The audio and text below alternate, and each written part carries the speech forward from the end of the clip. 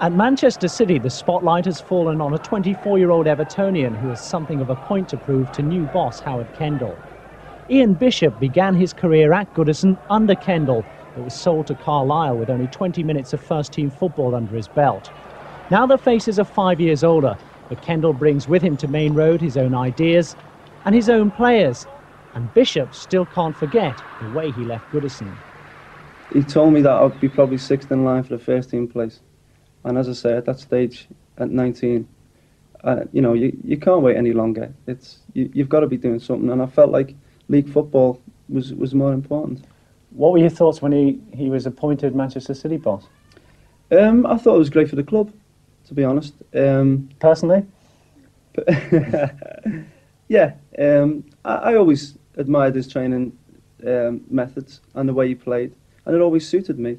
So that way I did, yeah. But did you think, oh no, it's not going to happen again? There's been uh, a little doubts, yeah, but it's a totally different situation, and I'm a totally different player now, a different person, and we're really starting from scratch. That's the way I look at it. In a disappointing season, Ian Bishop has at least been one City success. He'll tell you at first he was overawed when he signed, but now the confidence is increasing. Oldfield. Oh, Bishop. 3 0.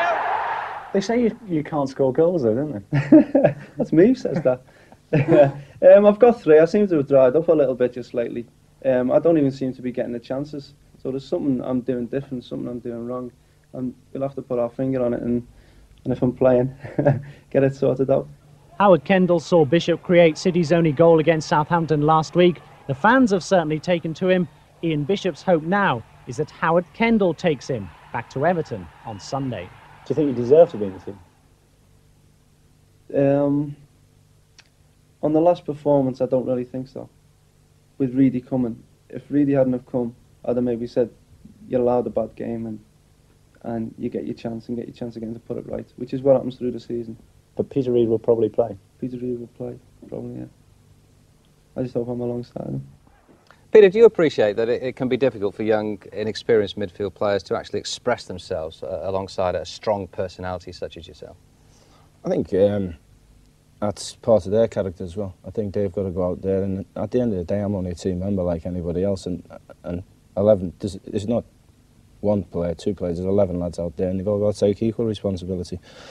If you're in a team, you're old enough and you're good enough. You've got to do the business. Ian Bishop, for example, doesn't seem to know whether your arrival is a good thing or a bad thing from his point of view. Well, Bish is uh, obviously I know from his Everton days, technically great feet, good player.